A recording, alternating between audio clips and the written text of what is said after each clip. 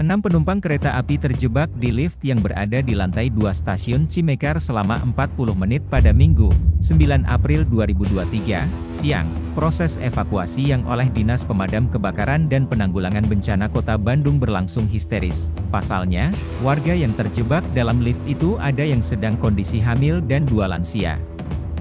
Danru Diskar PB Kota Bandung, Toto Yuhasmana, mengatakan, kejadian berlangsung sekitar pukul 11.30 waktu Indonesia Barat, dirinya mengatakan, lift yang menampung enam orang tersebut mengalami macet di lantai dua secara tiba-tiba, enam orang yang terjebak dalam lift berhasil kami evakuasi dalam kurun waktu 40 menit dengan menggunakan alat hooligan dan combi tools, ucap Totoi saat dihubungi Tribun Jabar.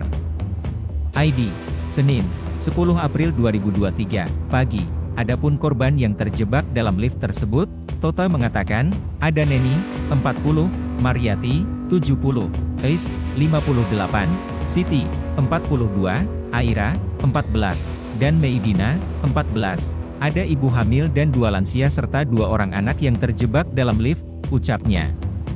Sementara itu, Menir Humas PT KAI Daerah Operasi 2 Bandung Mahendro Trangbawono mengatakan, lift yang macet tersebut disebabkan oleh gangguan teknis. Dirinya menyampaikan permintaan maaf dari PT KAI atas kejadian penumpang terjebak. Dalam lift itu, ia mengatakan, PT KAI Daop 2 Bandung berkoordinasi dengan Direktorat Jenderal Perkeretaapian Kementerian Perhubungan dan Balai Teknik Perkeretaapian Bandung, selaku pemilik proyek.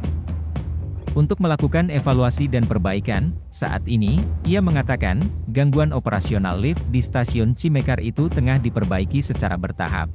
Evakuasi uh, orang yang terjebak di dalam lift TKP uh, stasiun Cimekar dan masuk wilayah Kota Bandung. Dan saat ini korban sudah diselamatkan oleh tim gabungan dari Diskar PB Kota Bandung, uh, Basarnas, Basarnas Bandung, juga dari PMI, beserta jajaran lainnya yang ikut dalam tim uh, SAR gabungan ini. Terima kasih untuk info siang ini. Assalamualaikum warahmatullahi wabarakatuh. Jangan lupa like, subscribe, dan share ya.